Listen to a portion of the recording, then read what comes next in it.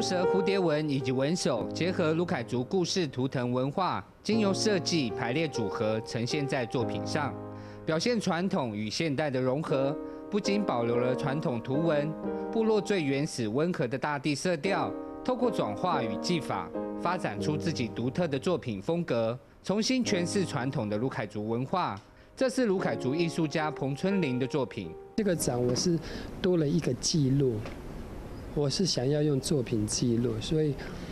我所认识我们图文就将近五十多种嘞。那你看我才展出八九种，你看还有多少的图文还没有发想？这个展里面我有用一个用，有时候是传统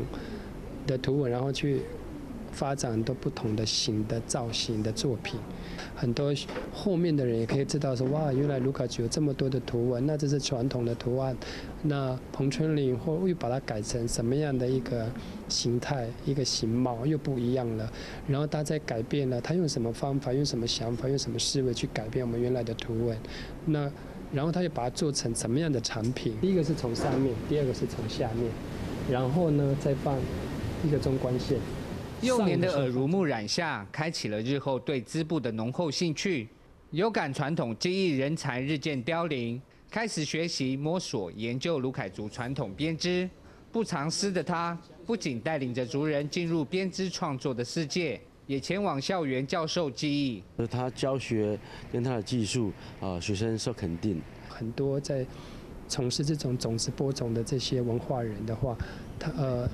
他们就可以去接触，他们也不需要说很辛苦的，像我们以前还要去找，还要去问，那直接就可以在他们的学习过程当中就可以学习。那以后他们会不会用用这种这种技术，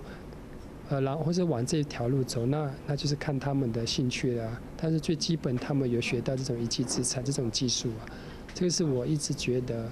传承跟学东西是有必要性的。彭春林表示，创作过程就像和祖先对话一样，对文化越是熟悉，作品越能呈现文化的深与广，